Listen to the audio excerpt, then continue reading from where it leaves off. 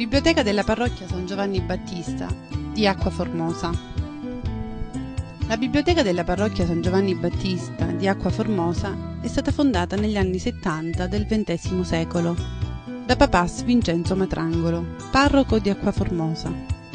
Nella biblioteca sono conservati libri di teologia, storia della Chiesa, filosofia e spiritualità. Oltre ai libri del suo fondatore, vi sono custoditi libri appartenuti a Papas Giuseppe Ferrari, teologo e studioso di diritto canonico di cultura al Brescia, già docente di lingua e cultura albanese all'Università di Bari. L'insieme dei due fondi librari fanno sì che questa biblioteca, altamente specialistica, sia particolarmente interessante per studiosi della Chiesa d'Oriente e della minoranza linguistica degli albanesi d'Italia.